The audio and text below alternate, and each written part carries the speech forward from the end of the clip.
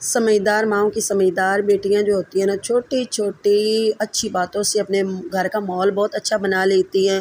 لڑائی جھگڑے سے بھی محفوظ رہتی ہے اور گھر کو جنت بنا لیتی ہیں۔ یہ چھوٹے چھوٹے کام ہوتے ہیں جو ہم، جسے ہم اپنا لیتے ہیں، اپنے گھر کا ماحول بہت اچھے طریقے سے ہم چلا سکتی ہیں۔ بسم اللہ الرحمن الرحیم۔ اللہ کے نام سے شروع، جو بہت بڑا مہربان، نہایت رحم کرنے والا ہے۔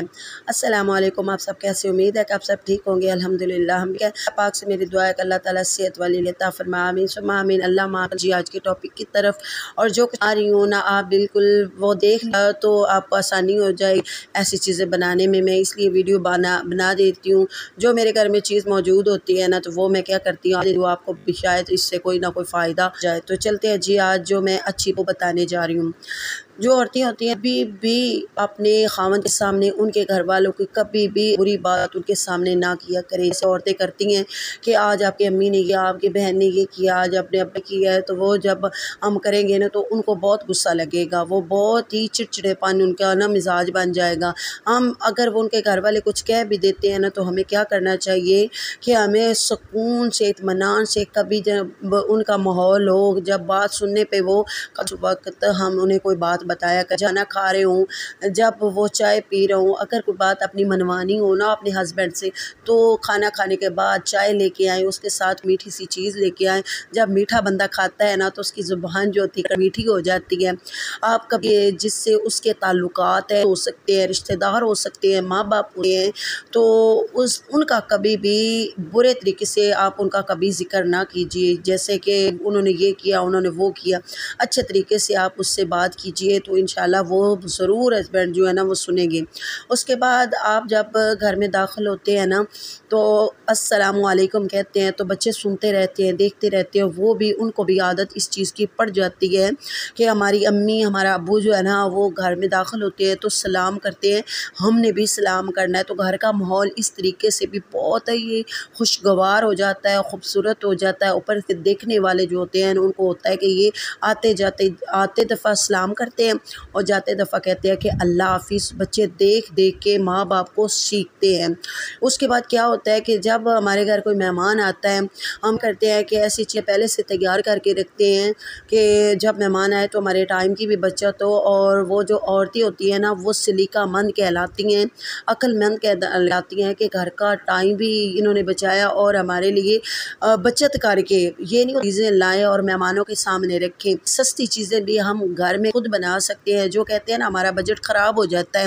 ہماری تنخواہ اس زمانے میں تنخواہیں واقعی کام نہیں چلا سکتی۔ اتنی مہنگی سبزی، گھر کا خرچ چلانا عورت کے لیے بہت مشکل ہو چکا ہے۔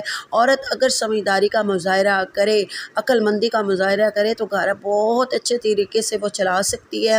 گھر میں نہ تو لڑائی ہوگی، نہ جھگڑا ہوگا، اور اچھے طریقے سے اپنے بچوں کی تربیت بھی کر سکتی ہے۔ اور اچھے طریقے سے ہی ان کو کھلا بھی سکتی ہے۔ ان کی جو کوئی نہ کوئی کمی ان میں رہ جاتی ہے وہ کمی پوری کرنے میں عورت کا بہت بڑا ہی کردار ہوتا ہے۔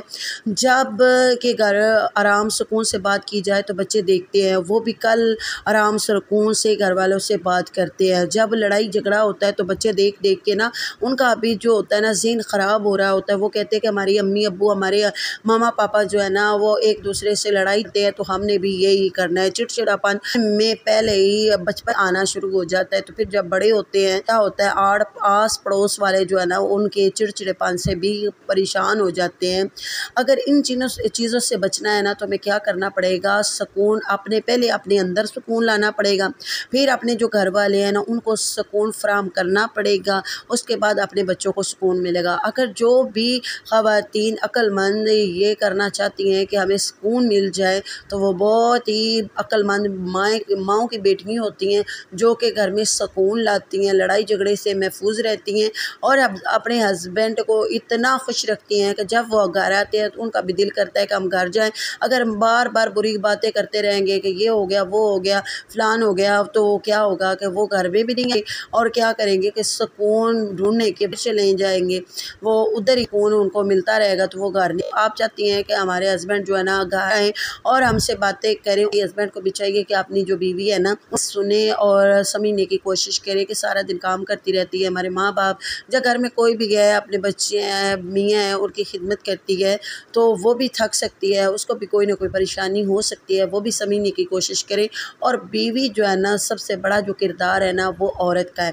اگر اپنا عورت کردار سمجھ لے، تو یقین مانے عورت کے چرچے جو ہے نا، ہر جگہ پہ ہوتے ہیں۔ وہ میے جو ہوتے ہیں، وہ خود جا کے اپنے بیلیوں، دوستوں وغیرہ میں باتیں کرتے رہتے ہیں، تعریفیں کرتے رہتے ہیں اپنی بیوی کی کہ میری بیوی بہت اچھی ہے، اور کبھی بھی دوسرے کو دیکھ کے اپنا کسی سے موازنہ نہ کرے، نہ ہی اپنے آپ کو مقابلے پہ کھڑا ہوگے وہ یہ کر رہا ہے تو میں نے بھی یہ کرنا ہے، اپنی زندگی اپنے طریقے سے خود کرے۔ یہ نہیں کہ اس نے یہ کیا تو میں نے بھی یہی کرنا ہے۔ یہ ایسا کبھی نہیں ہو سکتا۔ وہ الگ انسان ہے، اللہ تعالیٰ نے اس کو الگ بنایا۔ آپ الگ ہیں، آپ کو اللہ تعالیٰ نے الگ سے بنایا۔ ہر کسی کی شکل، عقل چینج ہوتا ہے۔ کسی کا ہم مقابلہ نہیں کر سکتے۔ بندہ وہی ہوتا ہے اپنے طریقے سے کام چلائے، اپنے طریقے سے گھر چلائے، اپنے طریقے سے ہی ڈیزائن ہوتا ہے کپڑوں کا، وہ ہوتا اتنی بڑی بات نہیں ہوتی۔ بات وہ ہے اپنے نئے طریقے سے جو بنایا جائے، نئے طریقے سے کپڑے بنائے کسی کی نقل نہ اتاری جائے۔ اگر نقل اتاری کون سی بڑی بات ہوگی؟ تو ہوتی ہے، جب ہم مقابلہ کرتے ہیں نا، میاں صاحب کو کہتے ہیں کہ وہ دیکھو، وہ تو ایسا پہن رہی ہے، میرے پاس کپڑے نہیں ہیں، وہ تو ایسا کھا رہی ہے، میرے پاس کھانا نہیں ہے۔ تو اس سے چڑچڑے ہو جاتے ہیں۔ وہ کہتے ہیں، میں سکتا ہوں، میں تو کما رہا ہوں نا، میرے پاس جتنا، میں نہیں کھلاؤں گا نا۔ اس سے بہتر ہے میاں کی دلجوئی کی جائے۔ میاں کو جب محنت کر کے آئے تو اس نہ کروایا جائے کہ میں تھوڑا کھاتی ہوں، میں اچھا نہیں پہنتی، میں ہمارے گھر اچھا پا، تو اس سے بہتر ہے کہ خود بھی تھوڑی سی کر لے تاکہ جو ہے نا گھر کا جو ہے وہ اچھے طریقے سے چل جائے اور اللہ روٹی میں برکتیں ڈالے اور اس سے پانچ وقت کی نماز تلالا سے کوئی چھوٹے چھوٹے وہ کرتے رہا کرے، اس سے میں گھر برکت ہوتی ہے اور لڑائی جھگڑے بھی نہیں رہتے بھی لازمی نکالا کرے، روز اللہ تعالیٰ برکتیں ڈالے گا۔ جی ملیں گے کسی اور ویڈیو میں، اللہ تعالیٰ سب کو سلامت رکھے، آباد رکھے۔ جو مجھے کمنٹ میں مجھ سے جو کچھ پوچھتے ہیں، مجھے بہت خوشی ہوتی ہے، میرا دل کرتا ہے کہ اگلی ویڈیو اسی میں بنائی جائے۔ انشاءاللہ آپ کی جو ہے نا فرمائشیں میں پوری کرتی رہوں گی نا۔ تو اللہ تعالیٰ سب کو آباد رکھے۔ پھر ملیں گے کسی اور ویڈیو میں۔ اجازت دیجیے اللہ حافظ۔